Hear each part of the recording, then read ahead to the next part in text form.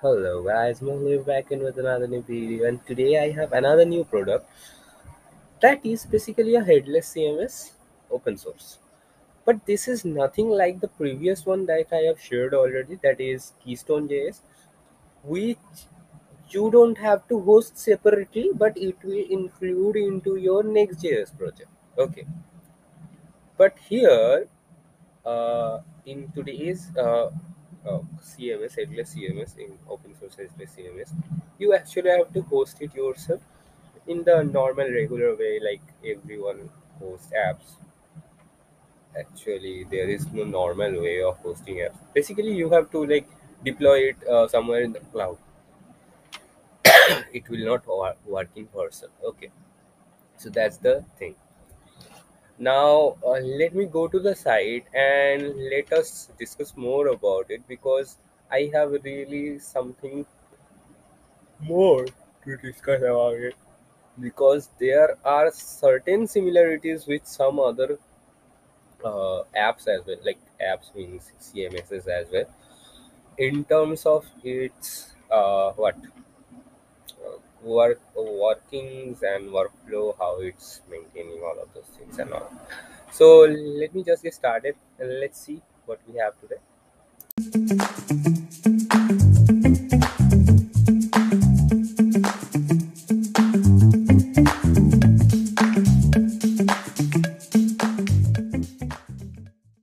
So here is our today's uh, headless CMS that is Contember. Okay. Now what I feel is this is like almost similar to Strapi. Now what is Strapi? Strapi is another headless CMS, but Strapi is little bit advanced, little bit complex, and like it have a lot more power to be honest. That I also don't understand properly. That's why I haven't shared it till now. But maybe when I get it totally, I will share it. But let's not talk about it. Let's talk about Contember. So what I feel like they are more like Strapi, but a little bit easier. Okay. So first of all, this is open source headless CMS and gives you full control in the admin interface. Okay, and you can have the GraphQL API. So this is something uh, you should notice. No REST APIs, but GraphQL APIs. Sorry for yawning. Uh, role-based access control. Obviously, that is important in any kind of CMSs and authentication well structured postgres database. I love this about this uh, particular website particular uh, cms that is it's using postgres. Though it should have given option to use like whichever database you want to use. Like if you are into sql language go for any sql database that you would like. If, if they have provided that option that would be much more like uh, flexible. Okay. Okay. But rather than that as you can see here like it it is seriously to be honest a lot more simpler. Here you can see in the example it has a one page one new page forms and that's it. Wait. Uh le- yeah okay wait wait wait, it doesn't have any other uh, demo screenshots that's why i'm not able to show you that there but yeah let's see here so it has this page new page forms and the inciting general navigation is there. So it is easily creating all of those. Like in Strapi, if you see the uh, dashboard, there's a lot of thing, lot of customization that you can do, and a lot of connections. But nothing is available over here. This is more simpler. And what I would suggest, if you have a simpler project, if you have a tight deadline, and when, like if you have simple needs, why don't you like to use a simple tool, right? So I would say this is particularly for that. Whatever, let's discover more of its feature. So GraphQL UI, like GraphQL API, that is instant, declarative role-based access control, user-centric administration, and platform as a service. PaaS. So it works as a PaaS. Okay. Or whatever. So they have explained these things again. Okay. eh, This particular point again over here. So as you can see, headless CMS, so control management system, control content management system. Okay, uh, you can easily use it for blogs, website, or like simply yeah. Actually, those are the two scenarios which which you will use it.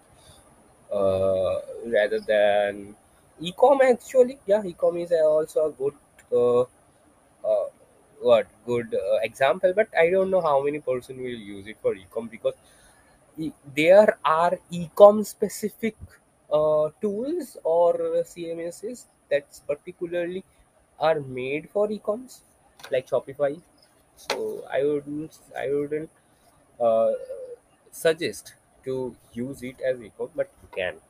Actually you can easily like uh, connect uh, maintain data over here connect with stripe uh, give that a single stripe button. So people will be easily able to uh, make transactions with it. Okay. Now here's the thing uh, you can use it as backend of your SaaS because it gives you the administration panel and gives you uh, like full eligibility on your uh, front end project front end i would would i say actually user user facing pro- product. So that is uh, kind of a thing that you can use it for. Then internal tools. So strapi is also considered as an internal tool basically those all of those things are what? Internal tools. And in most of the cmss you don't have the flexibility to build things but here here you have that. Because you can build the whole ui of the of your administration panel in it right? So that is a great thing and obviously backend of mobile app. So here's the things. Like define data models first then use it to connect with graphql apis and define management api as well management ui not api ui so as you can see it has management ui so i just said it like uh, you have the option like you have the flexibility to create your own ui though they have all the elements but obviously you have to build it from scratch. Okay. Now let's get into their uh, uh, yeah docs so that we can understand it uh, properly so here you, can see uh, uh, the architecture of it how it's working and all here is Contember Contember api uh, connected to SQL database. And here is your custom microservice optional. Uh, the website here is the front website or user user facing website or mobile app or uh, any other thing. So those are the connections. Now in quick start, uh, like oh, wait, not in quick start. Okay, deploy, deploy. Yes, yes. Salesforce Contember. Okay. Uh, so uh, for Contember, you will be needing uh, like you can uh, deploy it in Contember Cloud. That is also possible. That will be totally managed, and I should actually show you the pricing of Contember Cloud.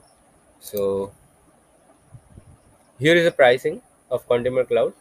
Zero for uh, like uh, free projects, and you get the limitations over here. Okay, and for team, thirty nine dollar, uh, thirty nine euro, and for professional, one forty nine euro. So uh, all of those things are free right now as they are in beta, but it will start charging after it's getting to like its stable launch. Okay so that's something you should keep in mind whatever uh, let's come back to uh, deploying self-hosting Contember so first of all you will be needing a postgres sql server. Anywhere you would like i always love to host it in uh, what railway just to get started with it practice uh, like practice uh, all of the things that i need to do or like make migrations and all. Uh, like in the development state i do all of those changes over there. And after that like just host it anywhere else or maybe like uh, keep that all like, uh, like keep the schema same but create another database in the same thing like in railway as well and delete the old database. So that is some something i do. Uh, there is a service i use from uh, railway. You can do that as well. Then you will be needing a uh, s3 compatible storage solution object storage. So this is something that is a bit tricky uh, because this will not only require a server. Actually this this requires a docker engine to run docker image okay? And obviously you can buy a docker server or like docker server are they called no, docker engine. You can particularly buy a docker engine to host all of this or what you can do you can buy a server and host doc uh, like, uh, run docker in it and obviously uh, run images in that container. And you will need a SMTP server though it's optional to send emails. Then again SMTP server is also like you can buy it uh, from others other vendors or you can make it yourself. So those are the things that you need to set it up so as i have said before this is totally different from keystone js in keystone js what we did is like making the app into into next.js okay? So we don't have to create any other uh, instances anywhere else but here you have to okay? And this is a more of a traditional approach to be honest. Like uh, building all of those stacks in uh, maybe uh, and hosting them in docker or something else and connecting your backend to your front end via apis graphql rest apis or graphql and obviously hosting your front end in next.js and all. So and, uh, the admin ui like i have to show it to you. So you have this thing like uh, you can build your own admin ui from here. Here you can see like in components we have blog buttons and all, all of other things ui components data binding components theming components. So yes you can build your own uh, what? Own uh, uh, admin panel. They have all of the elements but you have to build it yourself because obviously they are uh, this is something uh, is uh, this is something that will be obviously specific to you.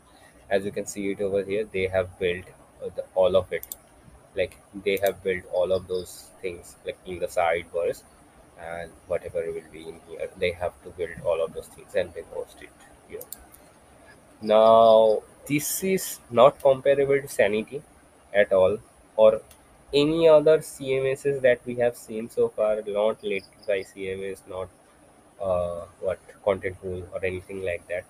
This is only comparable to strapi though strapi is way advanced okay i don't know maybe in future it will catch up to strapi let's see what happens but still then you can obviously use it and use use it for your simpler project. Like most of the time client have simpler really simpler project and uh, a simple uh, interface like this can solve all of the problems. So do the restful like do the needful actually what restful do the needful and use it let me know if you are liking it or not.